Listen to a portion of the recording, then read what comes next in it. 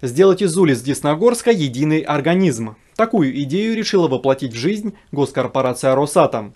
Благодаря совместному проекту Агентства стратегических инициатив и концерна «Росэнергоатом» у города появится единая архитектурно-художественная концепция.